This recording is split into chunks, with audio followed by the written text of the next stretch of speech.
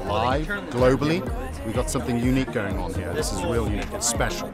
And that's not just saying it's special. You can see it, you can feel it, you can smell it. We're uh, shooting all of this thing in Dolby Atmos. Uh, we're uh, in fact going to be shooting it raw, full on 4K.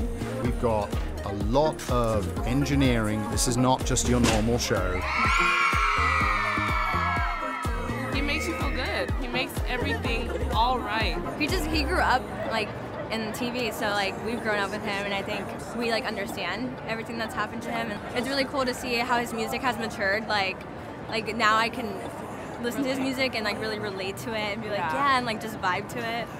He's just showed me that when you fall down, it's you just have to get back up, and that's what he did. He got up stronger than ever, and it's I'm really proud. Like just being himself even. Like I love how he's very like real with his fans. Yeah, he's like, very caring. Yeah, we're not even fans, we're his family. So it's like it's very like cool to be like that with him.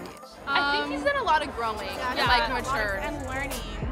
You know, like he did have his downfall, but if you're like a real believer, like you stick with him through it all. He said that like all of his fans are what brings him up, but honestly, like his spirit is what keeps us all going. Yeah, I mean, for our, our creative direction right now, I just sit with Justin a lot and we talk and, you know, and we just want to remain authentic, even down to the wardrobe. That's what Justin wants to do. That's how he wants to relate to people. He's very authentic with his fans. He connects with everybody. What I've noticed is Justin is just very involved from the artwork to the video screens to the dance routines to obviously the music.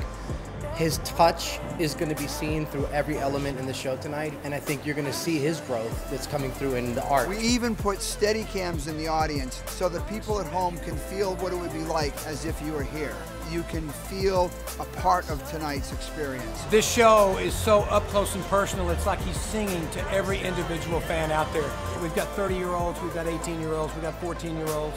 We got families here watching Justin Bieber make the move to the big time. I believe Justin's always been a serious artist, and this just brings him into the adult pop world.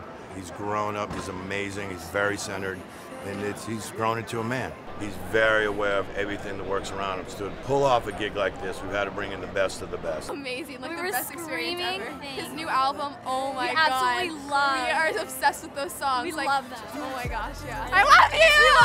I love you so much. I love his new album because it's really real, it's down to earth, and I just think he's so handsome. I'm not gonna cry. okay, next. I don't want him to think I'm a crazy fan because we're gonna get married. Life is worth living. That was the best video in my opinion. When he was doing the Q&A, some girl asked him if he was happy, and that's when I started crying. Get that I'm real. Act like you know me, but you never will. But there's one thing that show you. Inspires me every day, and he's amazing. I love him. When he was singing Purpose, I got teary-eyed because that song is like the next Believe, and it's really inspiring. Even through all the stuff that happened, I never left him, and I've always been supporting him. He's always good to his fans, and he's always loyal, and you can see what a good person he is, and he's worth standing by, and he inspires me a lot in this together, you know?